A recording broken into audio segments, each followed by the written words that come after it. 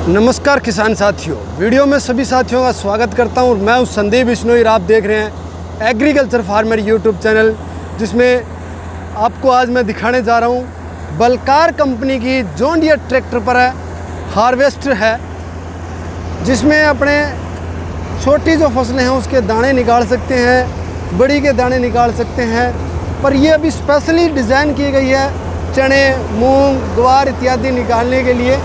जो चलती हुई धीरे धीरे निकालेंगी और जिन आदमियों ने हाथों से काटा है, वो निकलेगी। वीडियो में जो आप देख पा रहे हैं, पीछे कैबिन बना हुआ है। कैबिन में इसमें जो नीरा रहेगा, पल्लर रहेगा, उसको स्टोक किया जा रहा है। और स्टोक करके एक जगह हम इसको गिरा सकते हैं, यानी कि खेतों में बिखेरेंगे नहीं। जो पहले पुरानी कंपाइनें आती थी, वो खेत में सीधा बिगाड़ देती थी। तो वो सिस्टम इसमें एक परसेंट भी नहीं होगा। बलकार कंपनी की ये कंबाइन है। Guru Nanak agree engineer workers इस पर लिखा हुआ बठिंडा रोड।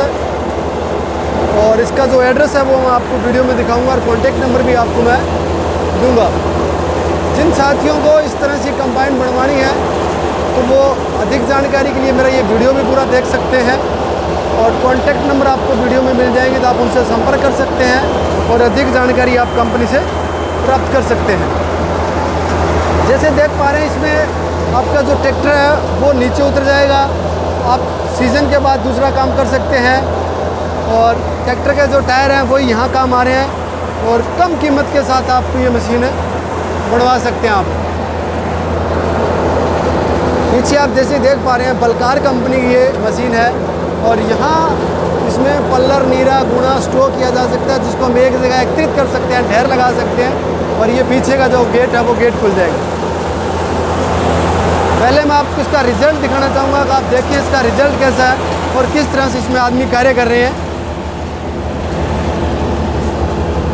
हमने पहले इसकी एक वीडियो बनाई थी, इसी तरह की वो मशीन थी, पर उसमें कॉन्टैक्ट नंबर हमारे पास उपलब्ध नहीं थे, कहाँ की बनी हुई है तो वो उपलब्ध नहीं थे। तो आज हम इस मशीन की वीडियो के साथ आपके साथ साझा करेंगे कॉन्टैक्ट नंबर और फुल इन्फॉर्मेशन आपके साथ साझा करेंगे।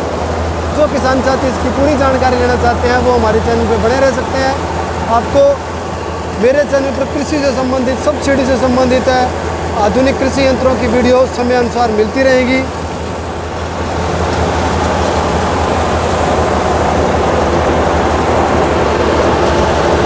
अभी वीडियो में आप देख पा रहे हैं, आज मूंग की निकलवाई हो रही है और इसमें लेबर इस तरह से आके डालेगी जिस तरह से हमारे टॉपरी मॉडल थ्रेसर हुआ करते थे सेम उसी तरह से ये कार्य करेगी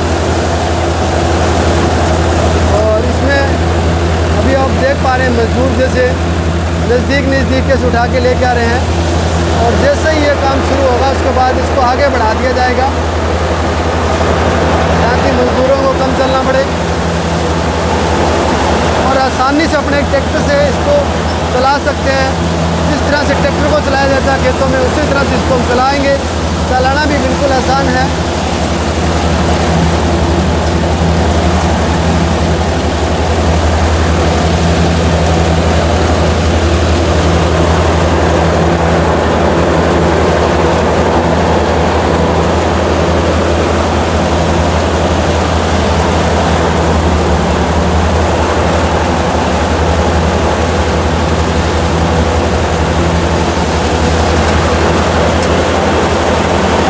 ऊपर चढ़ के दिखाता हूँ कि ये कार्य किस तरह से करती है दाने इसके कैसे रहेंगे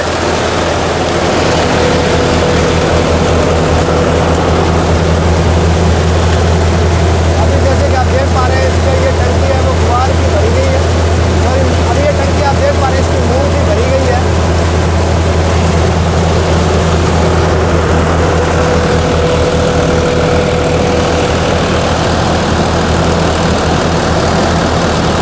आगे का जो कैबिन सिस्टम रहेगा। इसको अगर हम खड़ी फ़सलें काटना चाहें तो इसको हम खोल के हम दूसरा इसके लगा सकते हैं। जो आगे कटर लगेगी, साधारण जो हार्वेस्टर के कटर होती है, वही कटर हम इसमें लगा सकते हैं। परंतु इसको खोल के हमें रखना पड़ेगा और जब हम लेंगे तो अगर हमें दोनों टाइप की फ़सलें निकालनी है तो उसके लिए हमें दोनों टाइप की कटर लेनी अनिवार्य है।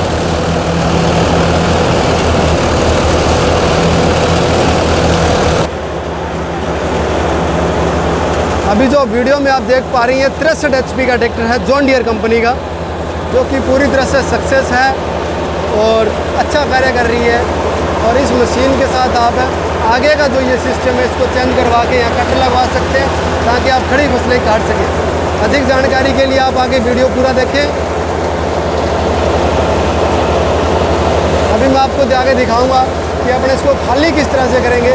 इसका जो अंदर पीछे पल्लर नीरा जो स्ट्रोक हुआ हमारा, वो हम किस तरह से खाली करेंगे, दाने कैसे निकालेंगे, बहुत ही ईजी कार्य करेगी और कम पैसे के साथ अपना कार्य कर सकते हैं या अपना व्यवसाय शुरू कर सकते हैं।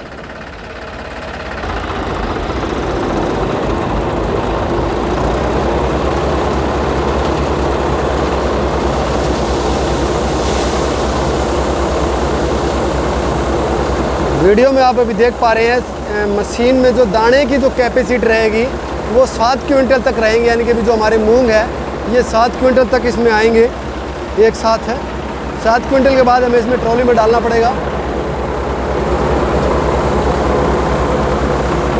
मैं थोड़ा नज़दीक से आपको नहीं दिखा पाऊँगा, क्योंकि मिट्टी बहुत ज़्यादा उड़ रही है इसलिए।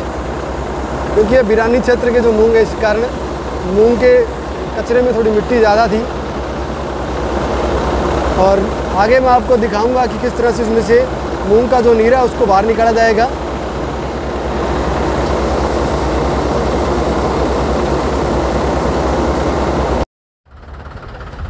जैसे कि आप देख पा रहे हैं, अपनी सुविधा अनुसार हमें यहाँ इसको खाली करना है। तो हम यहाँ इसको खाली कर रहे हैं। और कैबिन जैक लगा हुआ है। जैसे कि आप देख रहे हैं पंद्रह सेकंड में इसने खाली कर दिया है। यानी कि खाली करने की जो स्पीड है वो भी काफ़ी अच्छी है। और अब मैं आपको दिखाना चाहूँगा कि इसमें जो हमारा पल्लर है, नीरा है, गुणा है, आप अपनी भाषा में से जो भी कहते हैं वो देख पा रही हैं। शानदार फलगटियाँ हैं। बिल्कुल भी एक परसेंट भी कचरा नहीं है। हाँ बिरानी क्षेत्र में था, इसलिए इसमें मिट्टी ज़रूर थी, लेकिन जो साइज़ है वो बहुत ही उन्नत साइज़ है और शानदार साइज़ आप देख पा रहे हैं।